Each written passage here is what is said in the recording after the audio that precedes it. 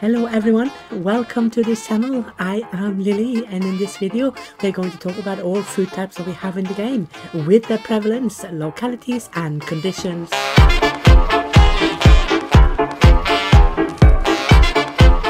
We have more than 20 types of food in the game, both animal products, animal produce, seafood and plant food. Some needs to be processed further to be suitable for consumption such as wheat and flax crops, while others can be processed further to get different types of food.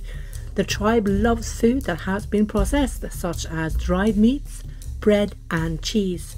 Most food types we have though can be eaten just as they are. Let's start with the animals, their locations, their prevalence and their products. We have both red and white meats. Red comes from all animals in the game, while white meat comes from fish and seafood. Red meat can be obtained from all animals, either via hunting them or from self-dead animals that you can strip for both their meat, hides and their bones. From the bones we also get bone marrow as well as the ordinary crafting materials. In Neolithic timelines you can find all animals in varying amounts wherever you go in Europe. But some animals do need specific conditions to be met before they will thrive. These are the goats and the sheep and they must have elevation and mountains nearby, otherwise you will not get them. Due to the climate, Mesolithic timelines are more restricted, especially the more northern parts of Europe. The further back in time you go, the more restricted you are, both with types of animals and their amounts. If you go 10 kbc to, for instance, Norway or Denmark, you will find only hares and dogs. And as you go more south, more types of animals will become available. As the millennia go by, however, you will start finding more prey in the most northern parts of Europe as well. White meat from fish will come from any body of water, while clams will need to either be on the coast or within a short distance of the coast in a river that is running out into it. The ocean will in addition offer much more pools of fish than any river will do. The animal produce in the game are the honeycombs and the milk. Honey comes from the bees that you can find in tree stubs all over Europe. The colder it is, however, the less bees you will have. Milk is obtained from your domestic adult female goats and cows. The milk can either be consumed as is or processed into cheese via a dairy station. Domestic animals can only be obtained via accepting migrants that bring their livestock with them. Moving on to the plant foods. First on the list is flax crop and wheat crop. These will need to be threshed until the grains have released from the stalk. If you do not have a thresher yet, you will have no use for any of the two crops as you cannot eat them as is from the wild. The flax grains can only be eaten, while the wheat grains can be ground into flour and then made into bread.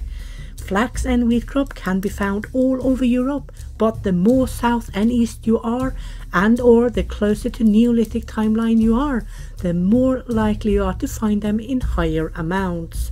Remember, you need Neolithic influence in order to make bread, so if you have a thresher during late Meso, you will have to do with only nibbling on the grains till you have enough Neolithic influence to get a mill and an oven. The tribe does not particularly love eating the grains though. Next on the list we have beetroots. They are found both in the wild and in your farms as cultivated crops. They thrive everywhere in Europe and can survive fairly cold weather, so these can be found also in the earlier Mesolithic timelines. And just like most of the food we have, the further south you are, the more amounts you are likely to get of the types that prefer a warmer climate. Remember when you are in Neolithic timelines, you will need to harvest the beets from the wild before you can plant them into your farms. Beetroots can be harvested from early summer both in the wild and also in your cultivated farms. Then we have the berries. The category contains two types of berries, the strawberries and the blackberries. Strawberries need warm climate to have any good amounts, while blackberries thrive better in a more temperate to cold climate than in the warmer areas. Strawberries can be harvested from spring, while blackberries will be ready for harvest in late autumn. Strawberries will not be found in the earlier Mesolithic timelines far north, while blackberries likely will. So if you want more strawberries, you will have to go south. Time for hazelnuts. They love the more temperate to cold climates and you will start finding them already in 8 kbc in some parts of Europe. They are found all over Europe though, but if you wish bigger clusters of them, it is recommendable to go to the Alps or the more middle and northern parts of Europe. Hazelnuts are ready for harvest in late autumn and they are a nutritious staple to the diet in any culture and timeline. Of all food types that has not been processed or dried, hazelnuts will last the longest in storage. Next up are mushrooms. They will be found in larger amounts if by shadows of forests and mountains. They do not thrive particularly in cold weather or specifically very hot weather without good shade but they will do really well in more damp areas.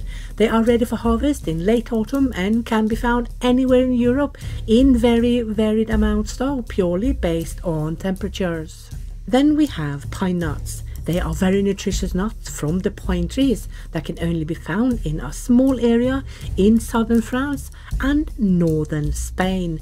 They are harvestable from early autumn and you will start seeing them already between 8 to 6 kbc pending temperatures.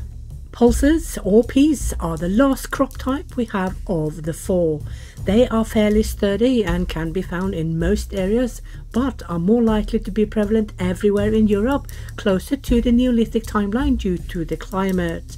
They are harvestable late autumn going into winter time, and as with the beets, wheats and flax, the peas will need to be harvested from the wild before you can plant them in your farmlands.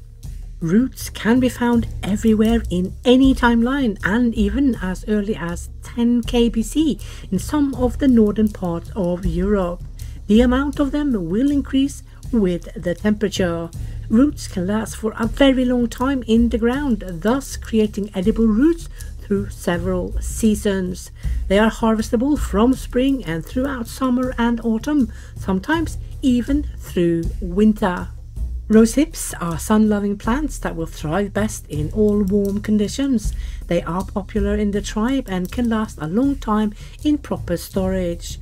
You will find them everywhere in Europe, but you are not likely to find them in early Meso in the more northern parts of Europe. The more southern parts will be able to enjoy them though from approximately 8 kbc in some of the warmer areas. Rose hips are harvestable from summer.